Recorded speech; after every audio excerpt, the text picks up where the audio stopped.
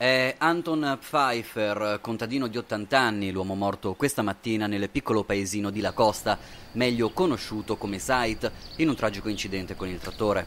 Il tutto è accaduto poco dopo le 7 al maso Fritcher. Pfeiffer, come ogni mattina, ha messo in moto il suo trattore, iniziando quella che sarebbe stata un'altra lunga giornata di lavoro sui campi.